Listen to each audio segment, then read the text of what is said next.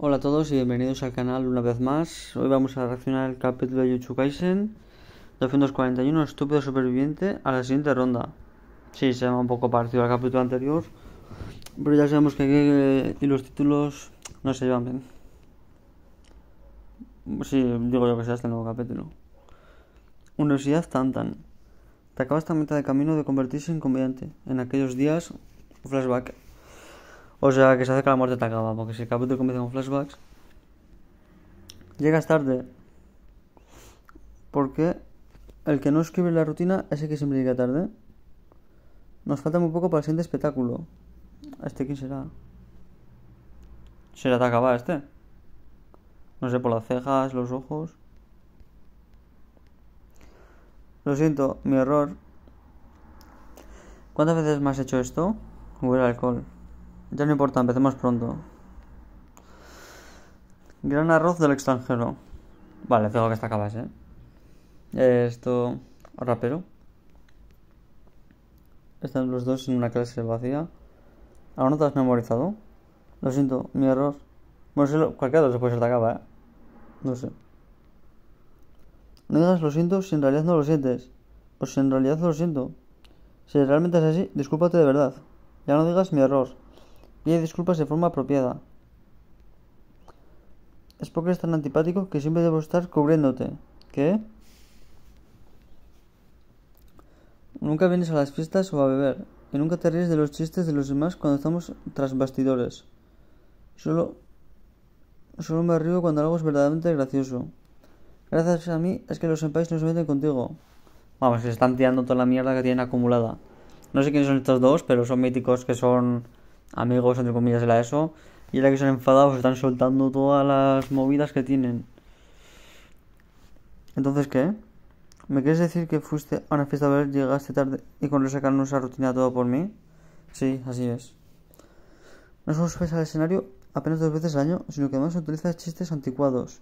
Y cada vez que abres la boca, eso para decir con cuántas chicas del personal te has metido. O de las supuestas conexiones que tienes con figuras famosas de esta industria. Se encara. Yo creo que el rubio está acabado, no sé por qué. ¿Crees, ¿Crees que es divertido tener ese tipo de actitud que en cualquier momento un aficionado te gane? Podrías entenderlo si al menos pensaras un poco. ¿Qué te pasa? ¿Estás celoso porque no te va bien con las chicas? ¡Uy! ¡Se le revela! ¡No! Hay lucha de egos aquí, ¿eh? La ha pegado, ¿eh? Yo creo que este está acaba, ¿eh? Y como este se atacaba, mola más así. Que no sé por qué me imagino rubio. Que como ahora tiene el peinado, tío. Ese no es el punto de la conversación. Te estoy diciendo que debemos tomarnos la comedia con seriedad, estúpido. No es divertido hacer comedia contigo. No hay manera de que el público pueda reírse y nosotros no reímos también. Hombre, se están metiendo una pared aquí. ¿Por qué hago comedia? Este sí está acaba, tío. Ya sentía náuseas antes de escuchar el chiste completo. Hubiera preferido estar muerto. Bueno, pinchada, negricuse, no sé qué sea. No te preocupes, es imposible hacer reír a, las 100 personas de 100. Aunque lo personal, a mí tampoco me gustan tus chistes. Este hemos atacado adolescente, este sí ya sí está acaba sí o sí. Con el pelo este de Deku cuando se le quema el pelo. Ya veo. ¿Por qué hago comedia? ¿Qué cojones es esto? Ese sí que está acabado disfrazado, pero lo de arriba que son. Ah, esto igual es un flashback de la pelea cuando la Kenyaku, cuando le tira los gusanos esos, no sé. Aquí nos separamos. Va. Vamos, intente, intentémoslo un poco más. ¿Cuánto es un poco más? Ya estamos casi en nuestros 30. Todos mis compañeros ya tienen trabajos estables o se han casado y tenido hijos. ¿Cuánto tiempo más seguimos haciendo esto? es que me random el cabrón, tío. Bueno, el pavo este también es random, pero la otra es que queremos se atacaba. ¿Cuánto tiempo más? Lo dice la gaviota esta, o el cisne. ¿Cuánto tiempo? Podría ir por el C1, pero me encuentro solo otra vez. Me encantaría ser un invitado regular en algún programa de comedia. Sí, eso, un programa de ídolos como el MC. MC es una competición para determinar el mejor dúo manzai de Japón. Ese trabajo suele ser menospreciado por los aficionados a comedia. Por eso es un trabajo que pone a prueba a los comediantes y sus habilidades para hacer que las chicas principiantes que no tienen en quién apoyarse se logren divertir. Además, con el tiempo, seguro que esas chicas lograrían participar en otros programas. No sé, que te acaba mítica casa universitario así, con todo tirado. Tenemos aquí videojuegos, cassettes, teléfonos. ¿Cuánto tiempo más? Hasta que haya logrado que me consideren gracioso e interesante. Porque hago comedia. Te estoy diciendo que debemos tomarnos la comedia en serio, estúpido. Así es, yo solía ser un niño serio y estricto con los demás. Y por supuesto, debido a eso, muchos me odiaban. Estaba solo y deseaba cambiar esa parte de mí. Así que lo intenté con todas mis fuerzas y ya voy a intentar contar un chiste de mierda y les va a espantar más. Estaba feliz por ser capaz de hacer que la gente se riera y hacerles ver que en realidad no era un chico malo. Logré hacer varios amigos, pero nunca pude encontrar pareja. A ver, la cara tampoco le ayuda. Y la personalidad también es muy demasiado complicada para que alguien le soporte. No puedo hacer comedia en vivo contigo. ¿Lo dices en serio? ¿Lo metes sorbo? Si lo dijera en serio, no me estaría divirtiendo tanto, ¿no crees? Jeje. Jaja, eso es genial. Aquí ya hemos atacado con un... Poco a poco va teniendo su peinado. Y le meto otro sorbo. Y dice, y el siguiente dúo es... Aquí no sé qué pasa. Quería que me conocieran mejor. Si llegan a conocerme, si aguante pensarían que soy divertido. Entonces ya no me sentiría solo. ¿Qué significa tomarse eso la comedia? Está hablando Takaba con Takaba de niño, ¿puede ser? Significa que todos quieren verme haciendo cosas absurdas y ridículas, ¿verdad? No, probablemente eso no es lo importante. Eso es algo que queda tras bastidores y no tiene nada que ver con el público. No sé qué puede la comedia, tal vez sea que mientras tú te rías ya basta. No sé. Aunque me imagino que será hacer gracia a todos.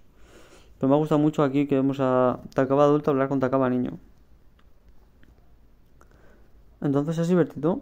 Por eso haces comedia. Empecé a hacer comedia porque quería que la gente me conociera. Y sin embargo, dije esas cosas. No importa si a ti no te doy gracia. Lo que importa es que los demás se rían. Creo que lo que Kensan dijo es verdad. Aunque también estoy seguro de que no lo dijo para que me rindiera. No te preocupes, es imposible hacer reír a las 100 personas de 100. Para afirmarme a mí mismo, me rendí y comencé a hacer interpretaciones convenientemente. No afronté adecuadamente el humor, y desde hace un tiempo dejé de tomar la comedia en serio. Y todo porque no deseaba lastimarme a mí mismo. Ahora viene la pelea, pues que ya va a quedar súper poco del capítulo, tío. A ver, Kenyaku, ¿qué hace? Te acaba como que se pone de revés, ves al suelo. Qué hermoso, es una reverencia perfecta. Yo llegué a ese nivel hasta finales de mis 20. Mm, vale. No entiendo. Ver, seguramente luego esto será una referencia o algo así. Que tendrá una explicación que alguien dirá en Twitter, pero. No. ¿Qué? Pero. ¿Qué estoy diciendo? Lo siento. Mentí. En realidad no pienso que esté bien que no rías mientras que los demás sí.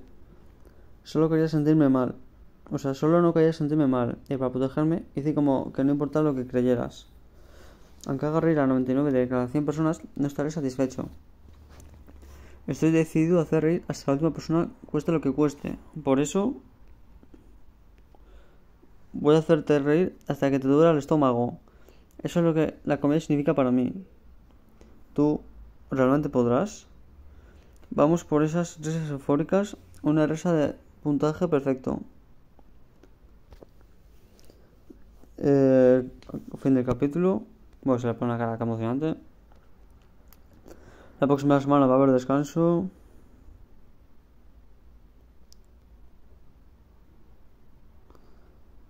Ah, bueno, esto significa que están como arrepentidos, así. O que a su final, esos 20, Kenyaku estuvo arrepentido y hizo esa referencia. A ver, mmm... Bueno, capítulo interesante del pasado de Takaba. Pensaba que iba a morir en este capítulo, pero veo que ha aguantado. Mm, bueno, quería ver más de la pelea, pero parece que no. Espero que en el siguiente capítulo tengamos más de pelea, pero tenemos dos semanas, tío, y esto se va a hacer muy duro, ¿eh?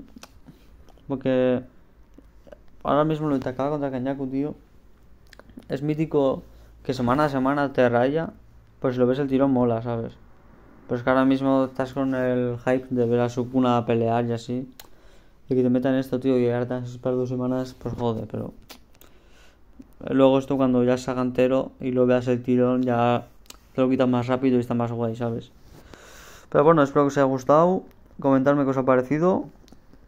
acaba yo creo que va a morir, así que podéis ir diciendo quién va a ser el siguiente en aparecer. O si te acaba va a nerfear Kenyaku. Y bueno, hasta la próxima.